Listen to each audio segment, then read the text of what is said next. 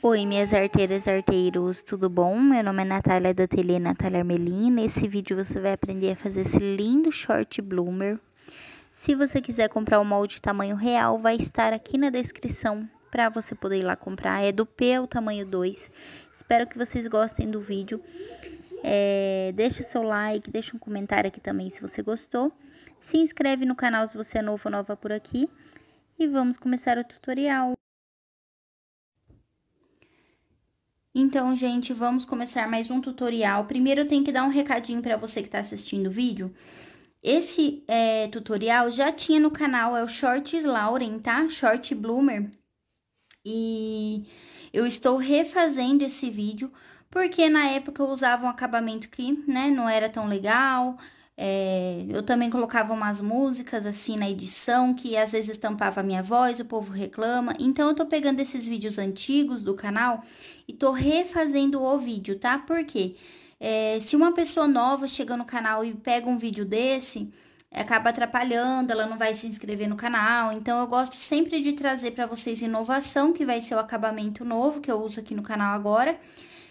E também é, por causa disso aí, né? Pessoal novo que chega no canal é, se assusta um pouco com meus vídeos antigos. Eu tava começando, eu não sabia editar, né? Eu achava legal pôr música para vocês se distraírem e tal, só que tem horas que tampava a minha voz, tá? Então, gente, vamos começar aqui.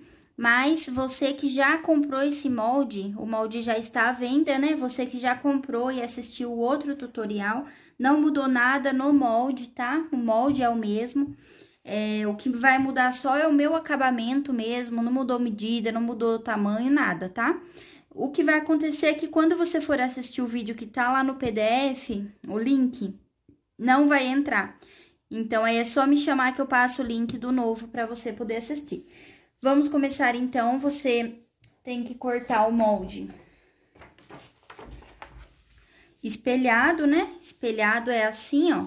Você coloca o seu molde risca e corta a primeira parte. Depois, você vai virar o seu molde ao contrário, vai riscar e vai cortar o molde, tá? É... Isso é espelhar, se você, né, ficou com alguma dúvida, tem um vídeo aqui no canal onde eu expliquei isso pra vocês, pra ficar mais claro. Tem gente também que só dobra o tecido e risca uma vez só, e aí vai espelhar.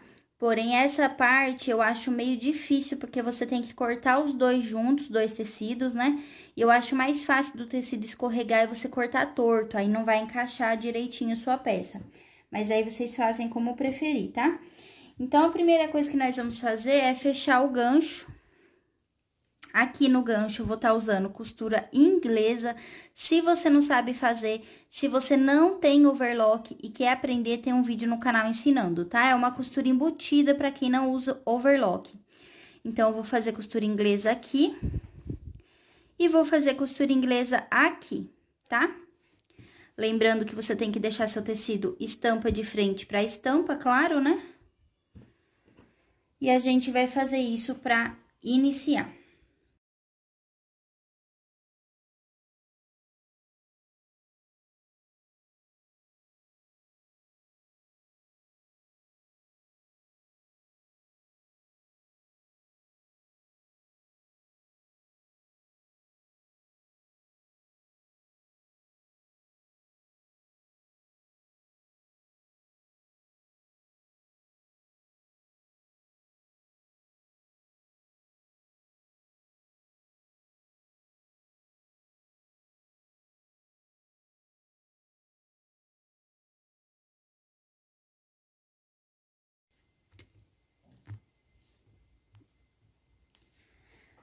Pronto, meninas, fiz aqui essa costurinha, tá?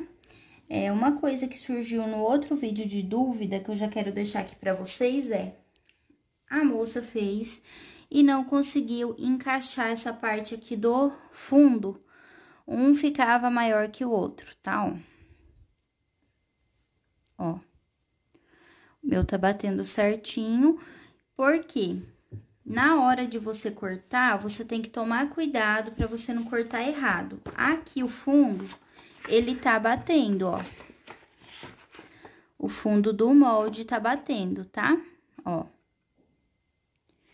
E aí, o que acontece? Se você cortar torto o seu tecido, essa parte aqui, a hora que você for emendar na outra, não vai dar certo, tá? Outra coisa que pode acontecer é, você fez uma costura aqui e você fez uma costura aqui para unir. Então, se eu costurar um centímetro aqui no meio, tá? De tecido, e nesse aqui eu costurar só meio centímetro, a hora que eu for fazer isso daqui no fundo, vai estar tá sobrando meio centímetro. Porque eu costurei menos. Então, essa parte do fundo, você... Do fundo não, né? Tudo, mas eu falo assim, você não pode costurar a parte de trás diferente da parte da frente. Se você fizer isso, a hora que você for unir a frente com o fundo, não vai bater, entendeu? Então, você tem que costurar a mesma quantidade que você fechar aqui, você tem que fechar igualzinho aqui, tá? É, porque senão realmente vai dar de, é, defeitinho a hora que você for fechar o fundo, tá?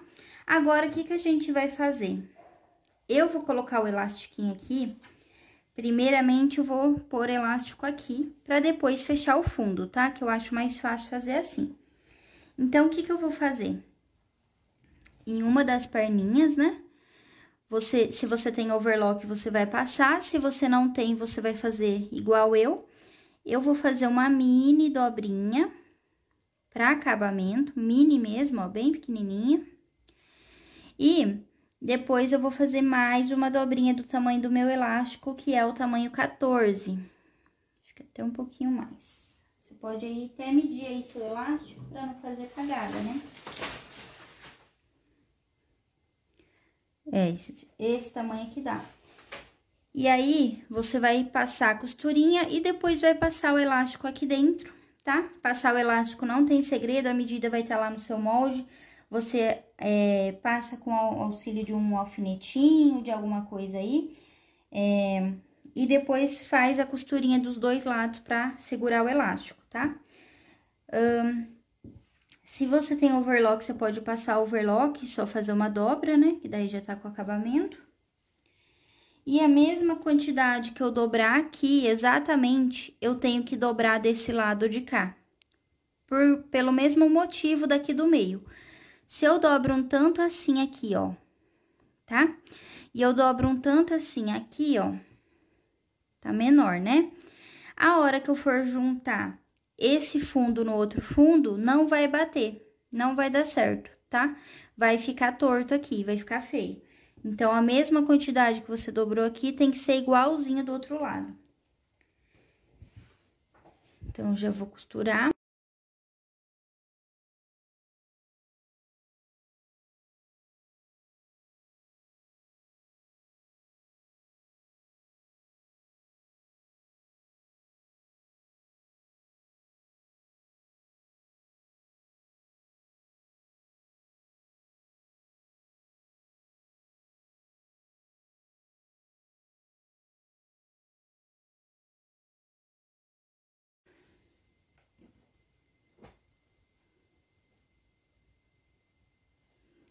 Ó, gente, entendeu? A mesma quantidade que eu comecei aqui, eu tenho que terminar aqui, ó. Ó. Pra dar certinho a hora que a gente for fechar o fundo, tá? Outra coisa, se você não quiser pôr o elástico, esse shortinho fica super fofinho também, só com a barrinha, ó. Então, meninas, vou mostrar como que eu faço aqui o meu, tá, ó. O que que eu fiz aqui? Coloquei o elástico, tá, ó.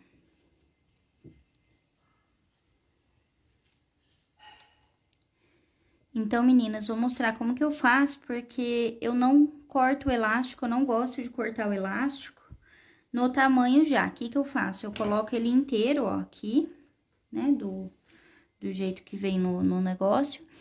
E aí, o que que eu faço? Agora, eu vou puxar aqui, ó, vou passar uma costurinha.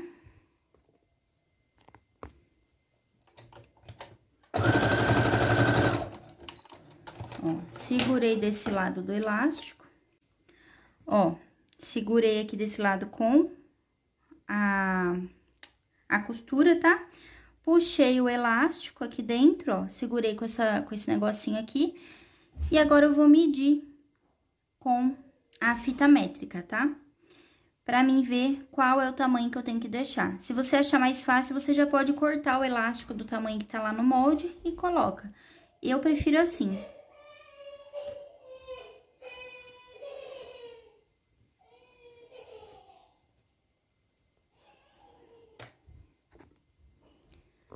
Aí, quando tiver do tamanho certo, você vem aqui e costura.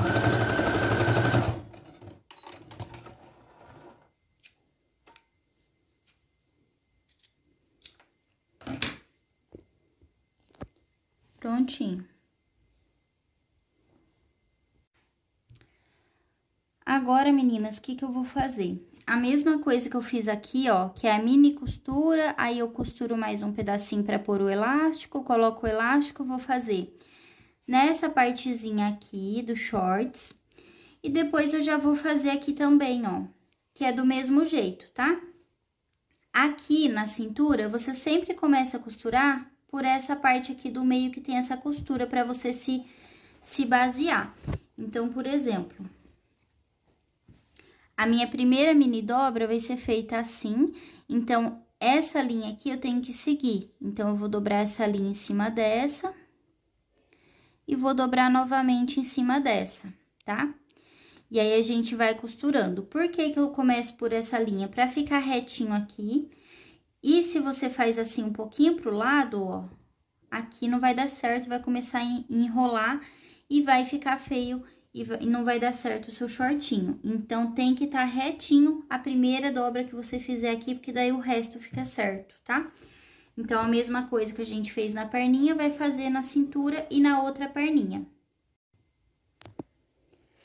Pronto, meninas, coloquei o elastiquinho da cintura, coloquei o elastiquinho aqui de baixo, agora a gente só vai fechar aqui e tá pronto, tá? Gente, vocês sempre me perguntam dessa tesoura quando eu uso, eu comprei no AliExpress, tá? E tem vídeo aqui no canal, tem o link do vendedor lá na descrição desse vídeo. Ela é perfeita e eu já tô vendo de comprar mais dessa, porque às vezes eu tô aqui, tem que cortar papel, alguma coisa, e eu não acho a outra, a minha que tá sem corte, eu acabei usando essa aqui e estraguei. Então, aí eu vou ter que comprar mais e eu vou comprar dessa, porque o corte dela é assim, sensacional, perfeito. Então, vamos lá. Ó, aqui ficou certinho, tá? Ó. O que que você vai fazer? Você vai juntar o fundo dessa forma que eu tô fazendo é, frente com frente, né? Que é a estampa pra dentro. E eu vou fechar aqui com a costura inglesa, né? Que é essa que a gente fez aqui no meio. Se você não quiser fazer com costura inglesa, você passa overlock é, ou zigue-zague. O zigue-zague eu não recomendo tanto se você estiver vendendo a peça. Se for para o seu filho, né? Algum parente muito próximo, assim Agora, se for para vender, o acabamento mais bonito é assim, ó, embutidinho para o cliente não ver nada desfiando, tá? Querendo ou não, depois que lava, o, o zigue-zague ele vai desfiar o tecido sim, tá? Então, vamos costurar essa parte e tá pronto. Pronto, meninas, ficou pronto aqui o shortinho. Acabei de ver aqui, meu celular acabou o espaço e acabou parando de gravar na parte que eu costurei aqui, ó.